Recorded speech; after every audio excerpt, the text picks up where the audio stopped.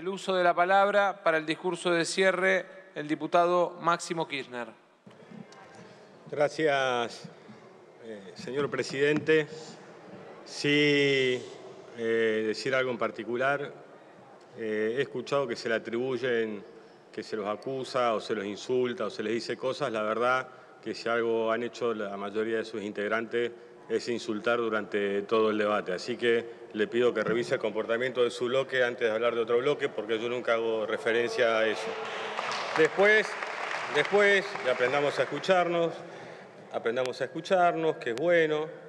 Eh, hay una situación también que hicieron referencia al caso de la provincia de Santa Cruz y también un diputado que habló de los resultados electorales de las últimas elecciones. Yo les quiero recordar que al día de dejar la gobernación de la provincia de Santa Cruz, las jubiladas y los jubilados de Santa Cruz eran los que cobraban los saberes más altos eh, del país, creo que es importante recordarlo, y por eso también tiene los resultados electorales que tienen en Santa Cruz, donde a pesar de todo lo que hicieron entre 2015 y el 2019, volvieron a perder por paliza en la última elección, así que más que opinar de las elecciones, eh, a, ver, a ver si nos hacemos los malos educados, somos los peronistas, no ellos. Ustedes son educados.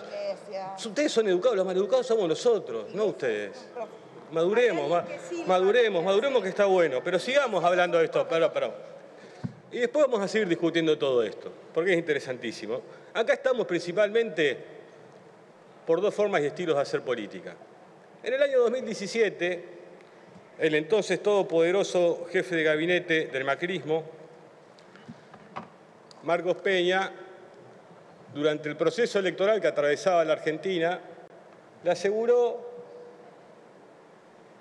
a todos y a todas que no había una reforma previsional en la Argentina. Dijo que no iba a haber eso. Lo preguntaron, respondió y afirmó no va a haber. Meses después, meses después, nos encontrábamos con la instalación de esta fórmula que hoy venimos a cambiar. Y digo dos estilos porque lo que estamos haciendo nosotros es precisamente cumplir con lo que dijimos durante la campaña electoral, que creíamos que esta fórmula era la mejor para que jubilados y jubiladas paulatinamente pudieran recuperar los ingresos que perdieron con el cambio de fórmula que hizo Mauricio Macri y no solo con el cambio de fórmula, sino también con la política general, con la macro que se aplicó. Entonces creo que en ese sentido, como bien decía el diputado propinante, hay que buscar puntos de acuerdo. Y si hay un punto de acuerdo es que durante incluso el 2016, que aplicaron la fórmula que hoy venimos a restituir a los jubilados y jubiladas, a los jubilados y jubiladas de la Argentina en el 2016, a pesar de la bruta devaluación de Pratt Gay, le fue bien en la Argentina. Después vendría el descalabro del fines del 2017. Después también uno los escucha decir, que no me sorprende, porque hoy a la mañana justo estaba haciendo zapping y lo escuché a Adrián Ventura, un periodista de TN, decir que, que esta ley estaba redactada por el Fondo Monetario Internacional. Y bueno, previsiblemente pasó lo que yo ya sé que pasa. Lo escucho primero en TN y después lo escucho acá en el Congreso.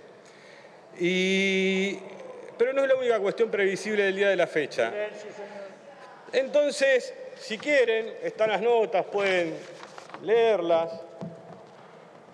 Cambios en la fórmula de indexación, indexar los beneficios solo por la inflación le permitiría todavía a los jubilados preservar el real valor de sus beneficios al tiempo que permitiría reducir la suba del presupuesto destinado a jubilaciones alrededor de un 20% del PBI. Y cuestiones que decía el Fondo Monetario que obviamente eh, sucedieron en la Argentina. Aún no había ingresado el Fondo Monetario, pero era como el preámbulo como el chichoneo, el primer chichoneo entre el fondo y el gobierno, cambiar la fórmula de jubilación que hoy venimos a restituir a jubiladas y jubiladas para que paulatinamente puedan recuperar aquello que perdieron durante cuatro años. ¿Lo van a recuperar todo el año que viene? Por supuesto que no. Por supuesto que no. Deberían escuchar los argumentos que tuvieron como bancada oficialista respecto de los indudables beneficios que tendría el cambio de fórmula para poder entendernos. Porque realmente, otra de las cosas que sucedió, cuando hablamos de la madurez de la política, yo recuerdo que la expresidenta tuvo que vetar el 82% vital y móvil a jubilados y jubiladas de la Argentina, ¿Se lo recuerdan, no? Sí. Ahora, ¿por qué no lo hicieron durante los cuatro años que fueron gobierno? Uno no puede proponer cosas para joder al otro, uno tiene que ser racional. Uno tiene que ser racional. Tuvieron cuatro años, cuatro años para hacer aprobar aquella ley vetada por Cristina. Lo digo porque cuando hablamos de responsabilidades, no, no nos peleemos, no caigamos en provocaciones. El señor presidente se ve que está distraído y bueno, no pasa nada. Pero sigamos. Entonces creo que para seguir en lo que pasó en esta Argentina con los jurados y juradas, porque aparte, si algo que podemos estar de acuerdo y estoy en parte con el diputado preopinante es que si los jubilados y jubiladas miran este debate no entienden por qué les pasan las cosas que les pasan. No pueden entenderlo. No saben por qué hay 250, 253 personas que hablan de sensibilidad, de sus ojos tristes y cansados y les pasan las cosas que les pasan. Realmente deberemos hacer una profunda autocrítica en ese sentido. Parte de esa profunda autocrítica tiene que ver que en los ocho años que estuvo vigente esta fórmula que venimos a restituir a jubilados y jubiladas hoy para que paulatinamente vayan recuperando sus ingresos, en la mayoría de esos años la fórmula fue efectiva, gracias a Dios. Pero ese descalabro económico, porque por ahí pueden pensar que es un análisis nuestro, que es un caprichismo nuestro, que es una cuestión sesgada, ideológica, eh, prorrusa, prosoviética, qué sé yo, cuántas cosas uno escucha en estos días, yo, la presidenta de, Juntos por el Cambio o del PRO, no sé muy bien, es la persona que dice la autocrítica de Bullrich. No tuvimos una clara conducción en economía, no somos nosotros.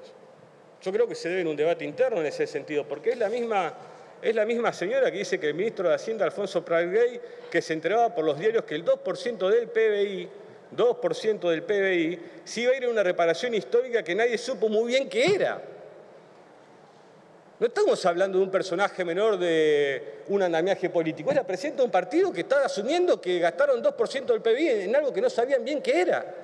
No soy yo, no soy, yo no pululo, ustedes lo saben por los medios diciendo estas cosas. Es la presidenta del partido, del jefe de gobierno de la ciudad la que dice estas cosas. No es uno.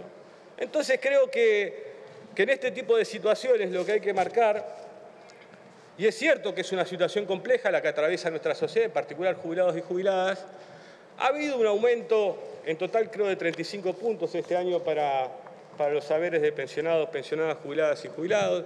Es cierto que es casi palmo a palmo con la pelea que estamos dando eh, en la paulatina y lenta baja de la inflación que se heredó del gobierno de Mauricio Macri. Es cierto. Es cierto también que la propia ANSES morigeró en esta pandemia de manera inteligente, sensible y humana el pago de intereses por lo que jubilados y jubiladas se habían endeudado durante el gobierno de Mauricio Macri, incluso hasta para poder pagar los servicios públicos, para poder pagar la luz y el gas, las dos pizzas, que fueron un poquito más. Así la cadena, como si fuera Kentucky en realidad, tenía que pagar cada jubilado y jubilado. Entonces creo que en ese sentido también tiene que ver que las políticas son integrales, que estos jubilados y jubiladas en este año, con todo el proceso que tuvieron que sufrir porque son personas de riesgo ante una pandemia eh, donde incluso se avecina una segunda ola, donde incluso los propios medios de comunicación, con tal de oponerse al gobierno, empiezan a criticar si la vacuna es rusa, si vienen acá, miren, la vacuna, así la hiciera Mañeto, yo me la pongo. La puede hacer Clarín la vacuna y yo me la voy a poner. No hay que ser tan corto, digamos, porque la verdad que complica mucho todo y trae mucho desánimo a la gente. No a nosotros, a la gente. Tenemos que ser un poco más inteligentes. Después, creo, y creo, y creo que esto para explicar más o menos. Diputado. Después había algo que. que lo que quería, ¿no? Que le llamen la atención. Hablando de las, de las, previsibilidades, hablando de las previsibilidades, yo pensaba cómo iba a ser este debate hoy. Yo pensaba que iba a ser, cómo iba a ser este debate hoy. Este debate de hoy iba a tener argumentos. Escuché, sí, algunos diputados de la bancada opositora con argumentos relativamente entendibles y comprensibles y debatibles y discutibles y expresados con mucho respeto y altura, lo cual es bueno para, para este Parlamento. Pero estaba pensando qué es lo que harían. Entonces entré a pensar, el diputado que me precede la palabra, ¿traerá una piedra o no traerá una piedra? y dudaba. Y no sabía si compartirlo con las personas que milito y trabajo. Decirle, yo creo que hay mejores argumentos que traer una piedra, pero como sabía que iba a traer una piedra, porque se han vuelto muy previsibles, porque su electorado no, no les exige nada más que insultarnos a nosotros y carece de propuesta, les traje las balas de goma.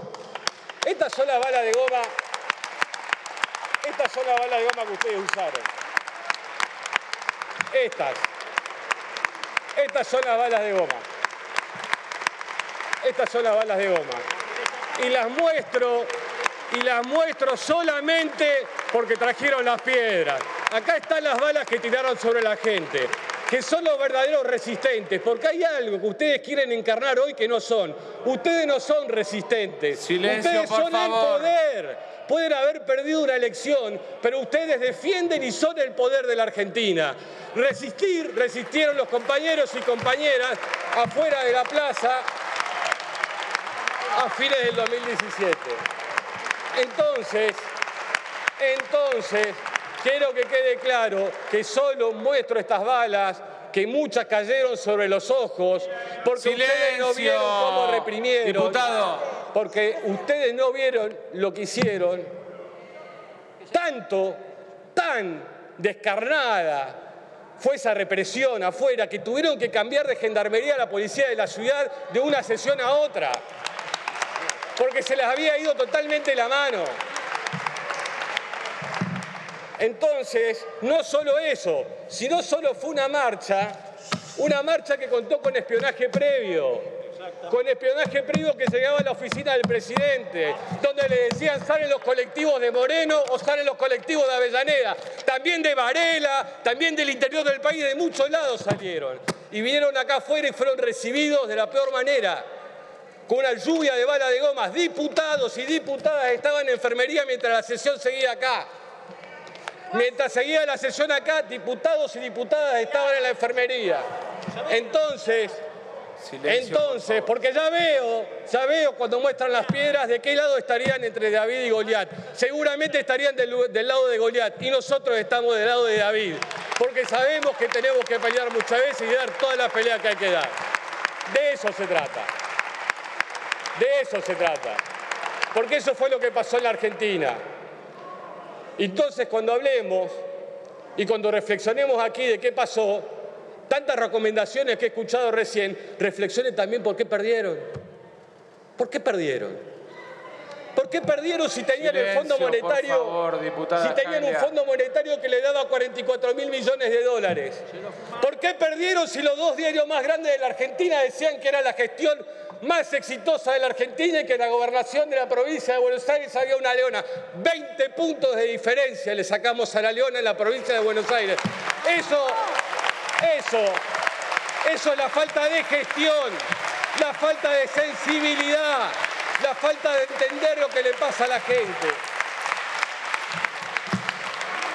Entonces, pueden gritar, pueden gritar. Silencio, diputado. No hay problema. Diputado, no entiendo por qué a usted hay que escucharlo y usted no escucha y habla cuando los diputados hablan. La verdad, El respeto es no me sorprende nada. también. ¿Saben qué? Griten todo lo que quieran. Insúltennos todo lo que quieran, porque es la mayor certeza también de que la próxima elección se la vamos a volver a ganar. Carecen de argumentos, les sobran insultos. Entonces, esta fórmula que tratamos hoy acá es para mejorar paulatinamente la calidad de vida de nuestras jubiladas de nuestros jubilados, que es lo que pretendemos. Y si realmente y si realmente se dificulta más la salida de la pandemia, porque hay algo muy extraño. Analizan las situaciones, miren, tanto que le gusta hablar de países modelos. Vamos a hablar un poco de lo que sucede, por ejemplo, en Alemania. En Alemania, y esto lo escribí y es una nota del diario del País de España. No es el Destape, no es Prensa no es... Es el País de España, La República, un diario independiente, objetivo. Y es una nota muy interesante justo este fin de semana. Les recomiendo que más allá de las obsesiones que tienen con cierta vicepresidenta también lean. Es sano, es bueno. Dice, en un país en el que la mayoría de los jubilados han empobrecido en los últimos 15 años a un ritmo mayor que el resto de la sociedad. Les voy a recordar otra cosa lo que sucede en Alemania. Los jubilados y las jubiladas, producto de la pandemia y del decaimiento, en Alemania también van a pedir y les dan bolsones de comida.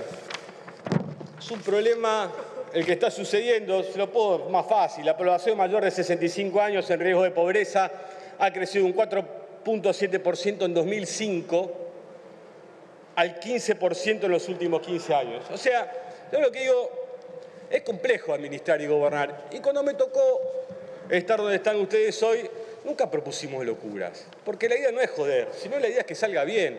Por eso les recuerdo lo del 82% vital y móvil. ¿Qué es lo que le pasó el otro día también con etiquetado frontal? Querían molestar, traen un tema, le decimos que lo queremos tratar y después nos lo votan. Tiene que haber cierto grado de madurez porque los reclaman y no los practican. Es más, Chile, Chile, que aún tiene las AFP, de la que gracias a Dios salimos rápidamente en la Argentina, a pesar del dolor de su ministro de Producción, Pancho Cabrera, tuvieron un retiro, dos retiros, primero y segundo retiro del 10%, aprobó el Parlamento chileno para salirse del sistema de las AFP. Esto implica que las chilenas y los chilenos de ese modelo que tanto han elogiado han retirado hasta el día de la fecha 26.300 millones de dólares del sistema de capitalización de los trabajadores y la trabajadora. Muchos quizás no puedan jubilarse, como también pasó en la Argentina, porque también lo han hecho con las moratorias. Y perdone a ver si uno eleva el tono, pero ¿saben qué fueron las moratorias? Las moratorias fueron millones de argentinas y argentinos que no pudieron completar sus aportes por el imperio de políticas económicas que generaron altos grados de desocupación que tuvieron como corolario el 19 y el 20 de diciembre del 2001. Eso es lo cierto. Imagínense, imagínense si esas jubiladas y jubilados que hoy entraron y están atendidos por la moratoria, o las amas de casa que se rompieron durante años en sus casas y que fueron alcanzados por las políticas de este gobierno, no tuvieran la jubilación en medio de una pandemia. No hubiera habido 8 millones de IFE, hubiera habido 12 millones de IFE. Griten, griten, por más que griten, no se trata de eso, se trata de mejores argumentos. Yo los escucho siempre con respeto. Y así todos los periodistas, porque a ustedes hay que los tratan bien, ¿eh? Y lo único que tienen que ir a decir, no, porque Cristina aquello, Cristina el otro, saben lo que son esto que se ve. No quieren escuchar, no nos quieren escuchar a nosotros como no quisieron escuchar a la gente. ¿Y saben por qué perdieron? Por ese tipo de situaciones. Viven agrediendo, están llenos de odio y ojalá algún día reflexionen si quieren volver a ser gobierno en la Argentina. Esto va a ser ley hoy por los jubilados, por las jubiladas y también por alguien que siempre recuerdo con mucho cariño, cariño de aquella gesta, por el compañero Cantieri, que cuando se lo llevaban detenido le preguntaron por sus familiares y dije, deja esos familiares que son todos gorilas mientras la gorra se los llevaba. Eso fue lo que pasó, eso fue lo que sucedió y no hay más. Gracias. Gracias.